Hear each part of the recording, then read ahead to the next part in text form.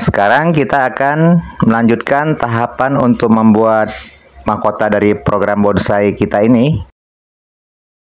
Kita bisa menggunakan cabang yang ini atau nanti melihat potongan atau tunas yang tumbuh dari sisa potongan yang kita buat. Untuk teman-teman ketahui, ini tingginya tidak lebih dari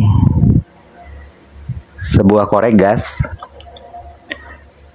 dan buat teman-teman yang ingin membuat ban bonsai seperti ini, bisa melihat-lihat videonya di channel YouTube saya.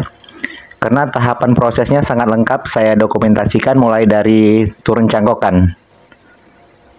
Jadi semua yang kita program ini kita dokumentasikan dan apa yang kita sampaikan kita tunjukkan hasilnya. Nah, ini hasilnya seperti ini dan kita menunggu proses selanjutnya.